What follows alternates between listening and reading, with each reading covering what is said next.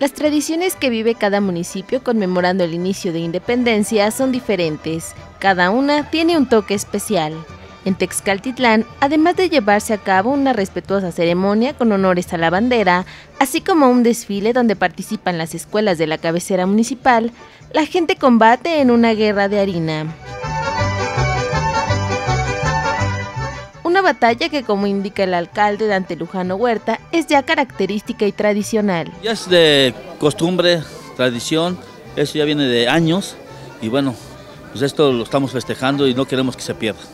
Es una forma de representar a lo que fue el movimiento del inicio de independencia en nuestro municipio y cada año se hace lo mismo. Yo creo que esta tradición está muy arraigada. En este 204 aniversario de la independencia, los tezcaltitlanenses no pelearon con balas ni rifles, sino combatieron en una gran batalla con puños de diversión. Todos contra todos, como si fuera una guerra interna, como te lo comentaba hace ratito, en cuestión de, de, como si fueran balazos o, o balas o machetazos, lo utilizamos nosotros la harina.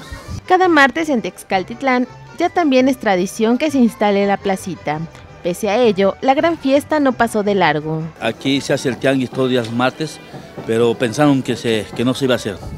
Y gracias a Dios, bueno, y, esto no tenía que quedar atrás y no por un, por un día o por los comerciantes eh, no íbamos a festejar este, este día. La cooperación y participación de la gente, gracias a la cercanía de sus autoridades, han hecho que este festejo no pierda su esencia. Nosotros nos apoyamos tanto de las personas que hacen el pan, como las personas que hacen este muebles. Ellos nos ayudan a hacer artesanías para que este día se le repartan a la gente. El recorrido dura poco más de una hora, donde panaderos y muebleros regalan pan y piezas de madera.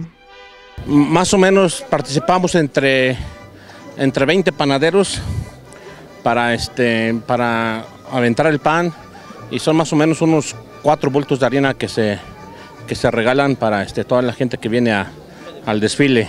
Es también donde las mojigangas hacen su aparición, recorridos que culminan con la participación de los jóvenes y niños en el palo encebado y una gran comida que es otorgada por el ayuntamiento municipal.